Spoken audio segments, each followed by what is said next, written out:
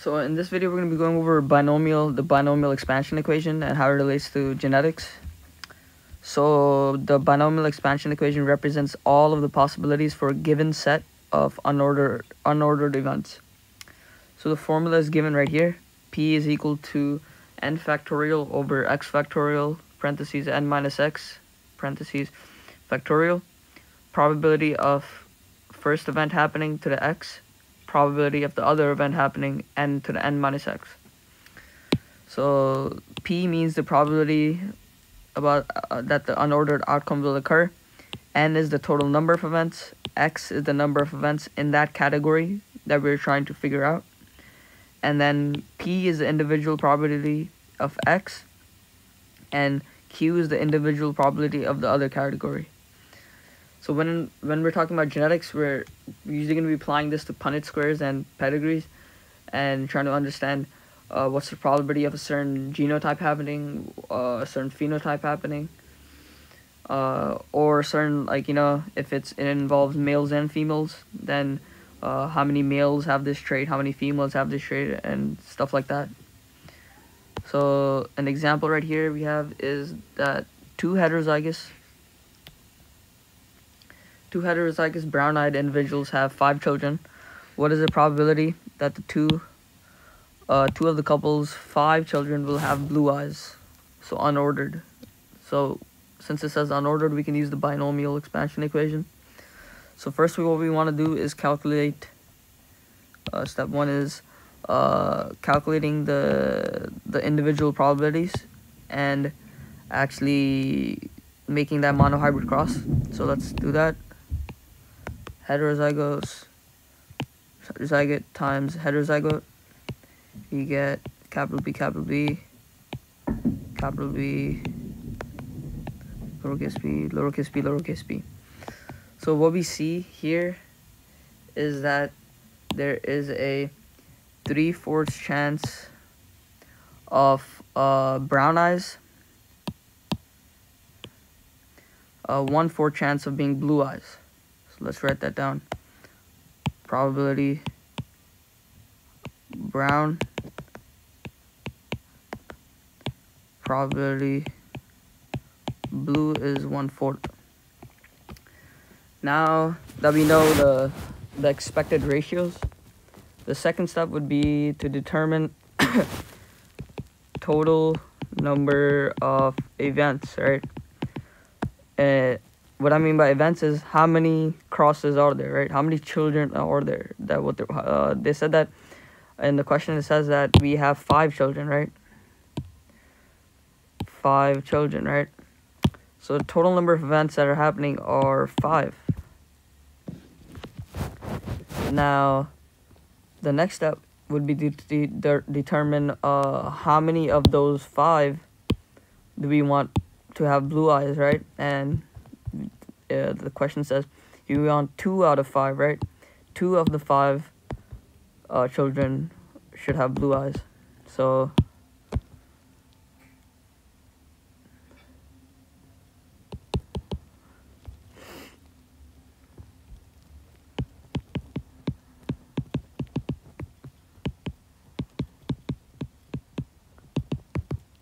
two, right? So we want two of the offspring to have blue eyes. So total number of events corresponds with n. A number of event in one category corresponds with x. Now all we have to do is just uh, uh, actually put it into the binomial expansion equation. Since now we have n and x. So it's going to be the probability. Let's write out the uh, equation, binomial expansion equation n factorial over x factorial n minus x factorial px q n minus x. So probability is equal to 5 factorial over x is going to be 2 factorial n is 5 x is 2 factorial and when we come get to this part now. Uh, when we get to this part, now uh, the Punnett square ratios are going to come into play, right? We know that 3 fourth is going to be brown, 1 fourth is going to be blue. But we're looking for uh, the probability of blue happening, right? So in this case, P would be uh, uh, telling us the probability of uh, blue eyes happening. Q is the probability of brown eyes happening. So it's 1 fourth. X is going to be 2, right? Q is 3 fourths. And then N minus X is going to be 5 minus 2. 5 minus 2. And when we calculate this out, we get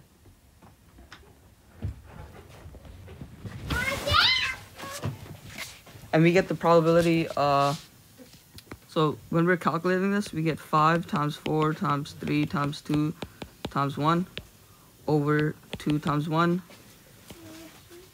times 3 times 2 times 1 times 1 over 16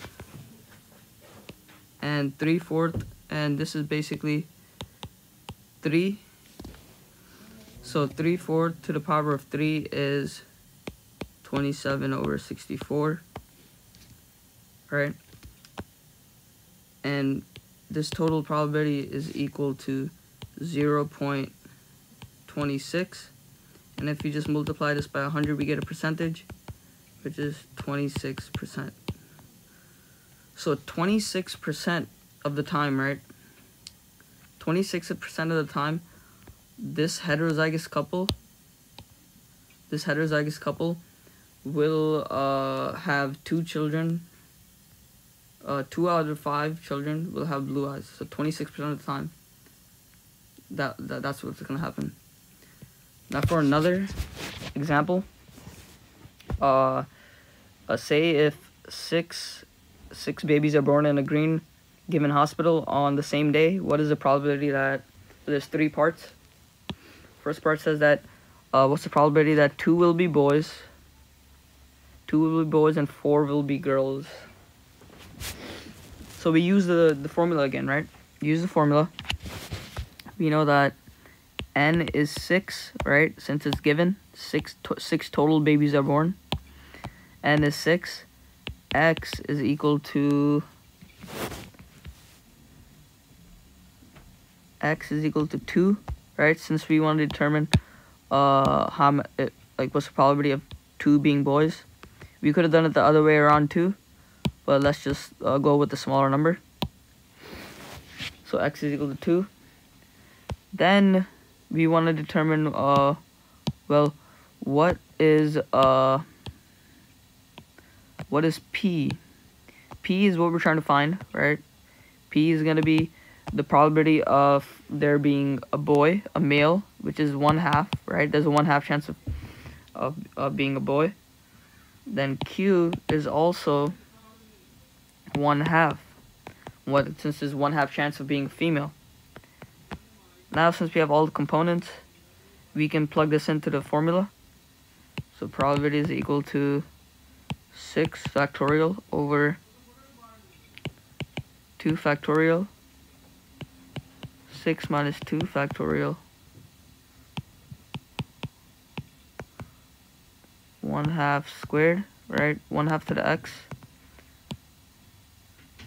and 1 half uh, 6 minus 2 and when we do this we get so this entire thing is simply, when you calculate it out, it's simply equal to 15 times 1 fourth. This right here is the calculation of Q is equal to uh, 1 over 16 since this is 1 half to the fourth. And our total probability is 15 out of 64. So that's our probability, which is roughly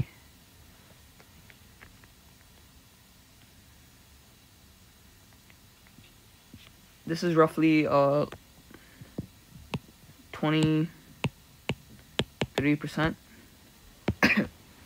so 23% of the time, uh, two two will be boys and four will be girls if there are six total babies are born. Now the next questions ask, uh, what if one is a boy and five will be girls?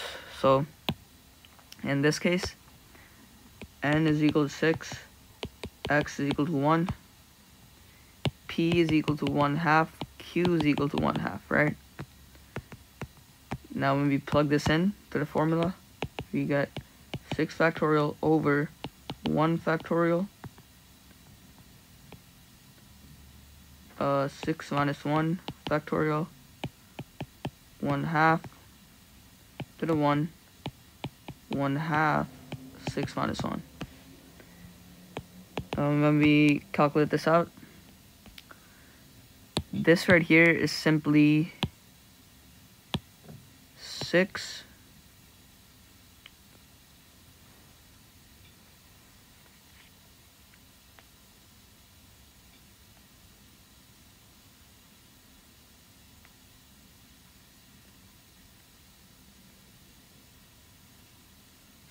that's simply 6 then times 1 half which is the uh, calculation of p calculation q is just 1 half to the fifth. That's going to give us 1 over 32 and we get 6 over 64 this can be simplified to 3 over 32 and this is roughly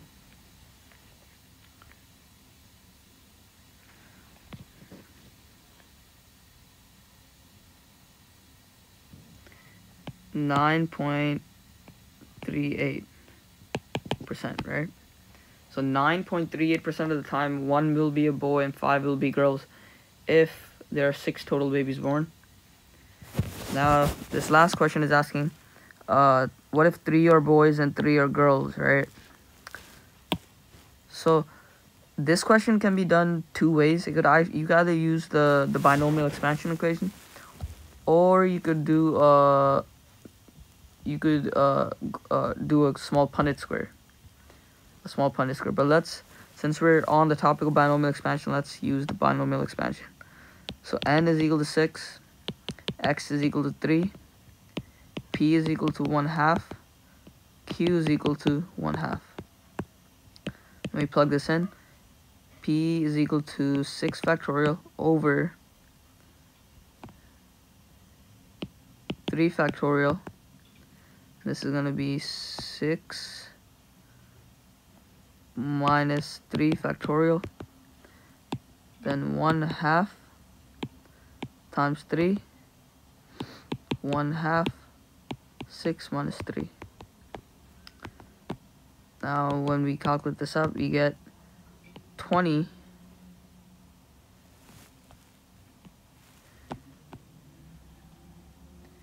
we get 20 times 1 8 times 1 8 and we get 20 out of 64 which can be simplified to 5 over 16 which is roughly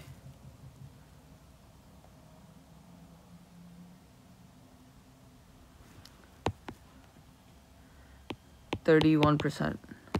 So 31% of the time, the 31% uh, of the time, there's going to be three boys and three girls if uh, six babies are born.